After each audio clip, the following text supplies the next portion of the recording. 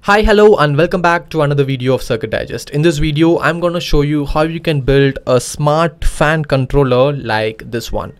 Now, I know what you're thinking. I am saying a fan controller, but I'm showing you a light bulb here. This is just for demonstration, but trust me, you can use this to control the speed of your fan. And in fact, I'm going to show you how exactly it's being done with a ceiling fan at the end of this video. So this board over here can be used for two things. One, it can directly control the speed of the fan uh, by switching the triac over here. And the second functionality is this DHT11 sensor, which can be used to measure the temperature temperature of the room and it will automatically set the fan speed based on your room temperature. That's very cool right? So in this video i'm going to show you how you can build this board and i'm also going to show you how the entire thing works. So let's get started so now I have powered up the device. If you can see uh, the light bulb is slightly turned on. Now once it's powered on, you can take your mobile phone and get into the Wi-Fi section and you will find a new hotspot named fan speed controller. Just click on it, you will get connected to it. The password by default is 1234567 but you can change it if you're interested in that. And then open any browser of your choice. I'm gonna open Chrome and get into this IP address which is 192.168.4.1 once you get in that you will see this page from where we can control our fa smart fan speed controller. So right now the brightness is set at 28 let me go to all the way high and as you can see as soon as I increased it we had a beep from the buzzer over here and the brightness of the bulb has also increased. Now let me go to somewhat around 23 22 again. And as you can see the brightness gradually decreases. Same thing I can even do uh, 67 percentage or 61 percentage. And accordingly the brightness or the speed of the fan will be controlled. Now another interesting feature here is you can see the room temperature right now here the AC AC is running so it's around 27.6 degrees Celsius. And over here you can set the minimum speed and the maximum speed for your fan based on the temperature. For example I can set that the minimum speed that I need is at 20 degrees Celsius so if the temperature goes below this the fan will turn off and the maximum temperature range would be around say 35 degrees celsius. So when i do this so whenever the fan whenever the room temperature drops below 20 the fan will automatically turn off. Similarly uh, it will map the speed and increase the speed with by uh, till the temperature reaches 35 so at 35 degrees celsius the fan will be running at maximum speed. So uh, this is just an example. You can set whatever temperature you want and then click on this button enable auto mode and once you say okay you will hear two beeps to see that the uh, to notify that the board is entered into auto mode and your fan speed will automatically be controlled. So this is a quick demonstration and uh, next we will see how the circuit diagram for this board looks like and i will also show you the schematics as well as the code for this project. So let's get into it so this is how the entire thing works and as you can see everything is neatly fabricated in a compact PCB so that it can also fit into this enclosure. So you will have your AC input here, your DHT11 and your output pins will be here. So everything will be packed neatly inside this enclosure. I'll also show you that at the end of this video and you can easily mount it in your living room or in your bedroom. So all of this is made possible using these amazing PCBs and that brings us to the sponsors for this video PCB PCBWay. PCBWay provides high quality PCB prototype and fabrication services. They are well equipped to handle standard and advanced PCB design and can also provide SMD stencil and PCB assembly services. They are known for their shorter lead time and quick customer response and also supports the maker community. So do consider giving them a try for your next PCB. So that being said, let's move forward with this video. We will see how the entire schematics for this thing looks like and I will also show you the code and the firmware which we have used to build this thing. So let's move forward. Okay, now we are looking at the complete schematics for this board. Let's start from the AC input side. So this is the AC input side as you can possibly see we have the AC input we have a Hi-Link module which converts the 230 volt AC to 3.3 volt DC so let's look at the schematics as well we have the live and neutral getting into the Hi-Link module which gives us 3.3 volt to power the PIC microcontroller the ESP and everything here is powered with 3.3 volt and then we have the ground. And then moving on we have the zero cross detection section. So over here on the back side you will find a full bridge rectifier which is shown here along with two resistors and then we have an optocoupler PC817 which you can see over here which is used for zero cross detection. The ZCD here indicates zero cross detection. So whenever the AC waveform touches the touches zero we'll get a signal here which is then given to our ESP8266 sorry which is then given to our PIC microcontroller over here. So we have two controllers here. One is the ESP8266 which you can see here and other is the PIC microcontroller which you will find if you remove this ESP8266 module. So here you can see the PIC microcontroller which is PIC 12F675P. So uh, it is supposed to be a through hole component, but we had an SMD with us. So we have adjusted with what we had, but you can install a through hole component here as well. So the reason for using two microcontrollers is that one microcontroller will be busy with uh, doing that hotspot thing hosting the web server and everything while the other microcontroller is completely dedicated for zero cross detection as well as to switch the waveform using the triac over here.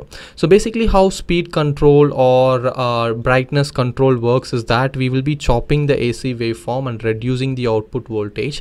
And in this case it is very important to do it with zero cross detection because when we are implementing it for fans like ceiling fans or table fans if zero cross detection is not implemented we will get vibrations or humming noise on the fan when it is being controlled. So that is why we have used a dedicated PIC microcontroller and have implemented zero cross detection so that the control of the fan is really really smooth and is very practical. So moving on with the circuit diagram we have already covered till here. So again the PIC microcontroller controller operates at 3.3 volt and then which gets the signal from zero cross detection circuit over here. And then on the output side we have another optocoupler which you can see here.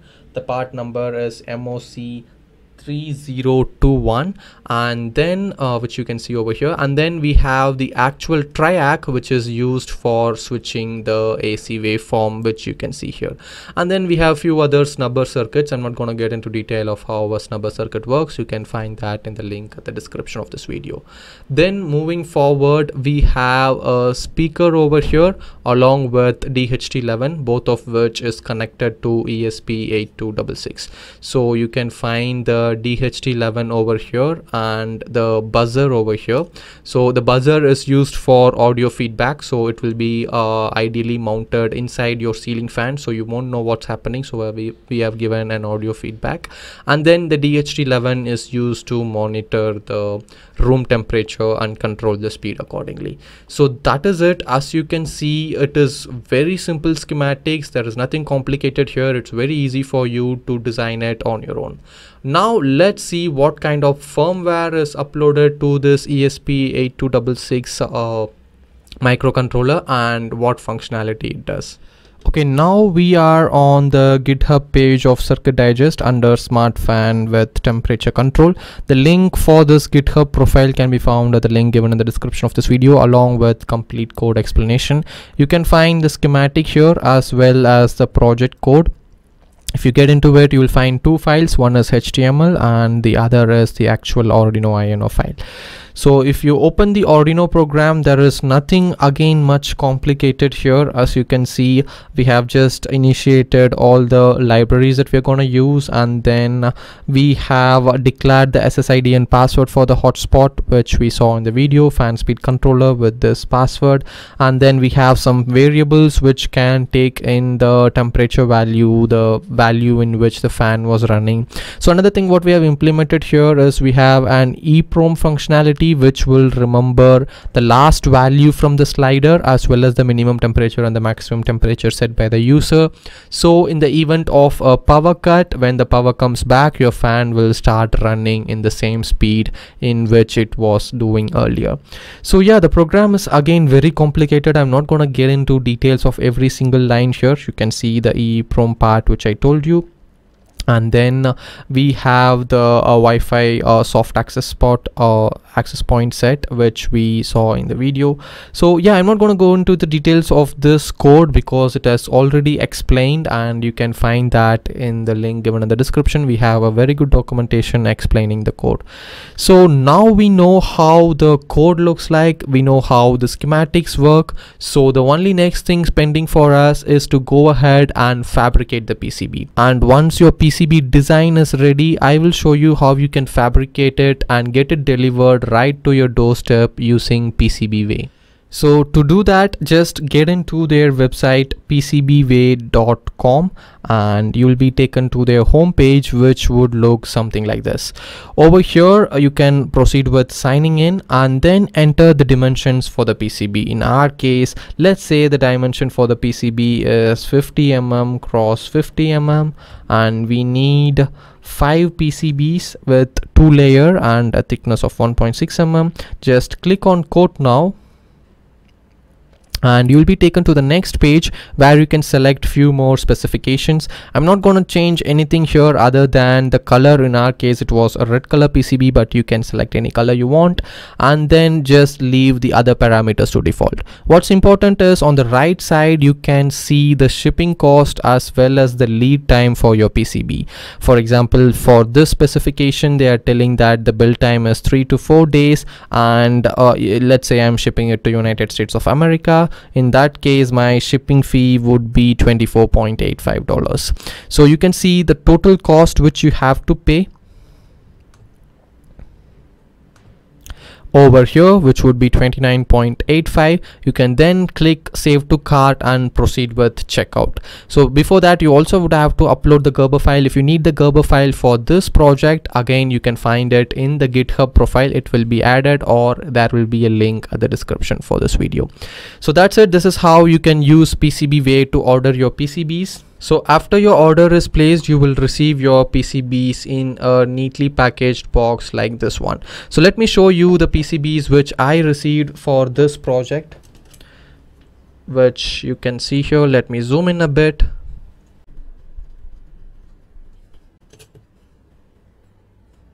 And you can take a look by yourself that the quality of the PCB is really really good. The footprints are very clear the silk screen is very legit and even the holes vias everything was neatly made. All I had to do it was just proceed with assembling it.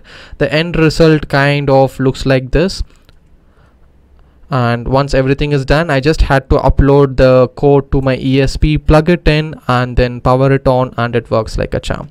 So that is it guys. This is how the entire thing works. As promised I will show you a video clip in which we have put this uh, project inside the enclosure which I showed you earlier and have tested it with a ceiling fan